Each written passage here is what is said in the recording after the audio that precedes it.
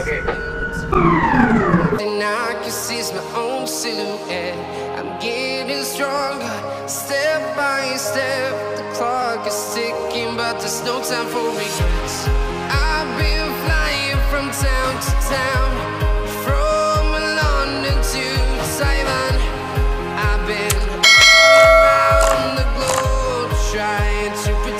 What's up guys? Welcome to my channel. For today's video nga pala magsisecure tayo ng ship screen. Tara!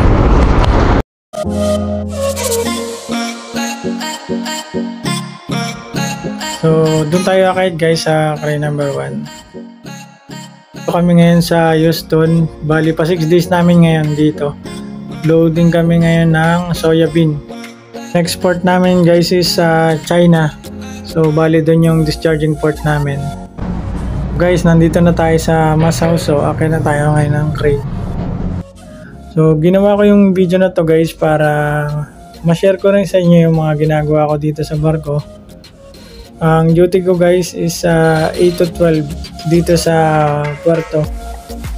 So, since uh, patapos na yung loading namin, bali isang bodega na lang yung kinakargahan. Yung cargo hold number 3 na lang. So, inuutay-utay ko nang i-secure yung uh, mga crane namin para bawas trabaho na rin basta matapos yung ah, loading. Dito na tayo guys sa crane cabin. Sarado natin yung pinto kasi maingay siya guys kapag umandar na yung motor.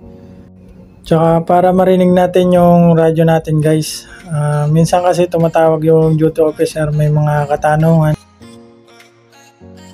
Yung motor guys, warm up muna natin. Sana all.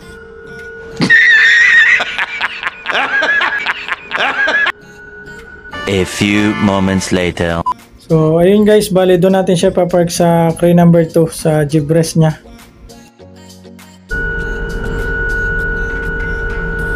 Ready na tayo, so mag-start na tayo.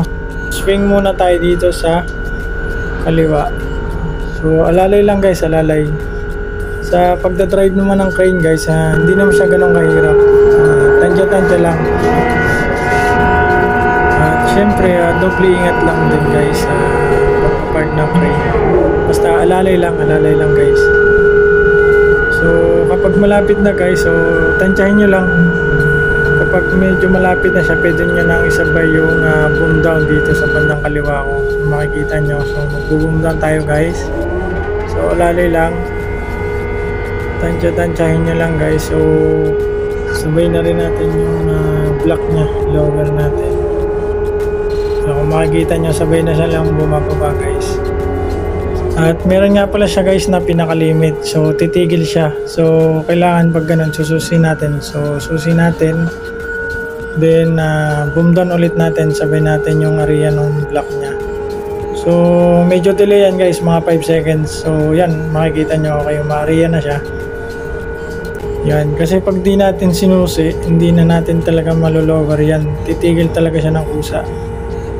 Kasi yan talaga yung pinaka-purpose ng limit switch na.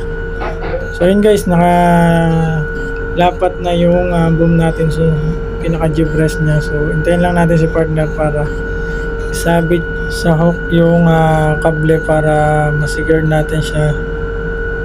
So pag nakasabit na siya guys, so alalay lang, alalay alalay lang yung pagbira guys kasi napakadelikado niya kasi kaya niyang putulin yan pagka sobrang lakas yung bira natin tsaka ipa double check din natin do sa nagsabit sa baba yung kable kung tisado na ba siya so yun lang guys uh, ganun lang naman siya kadali na mag park ng uh, crane so ingat lang lang palagi guys so yun lang uh, park na yung crane natin guys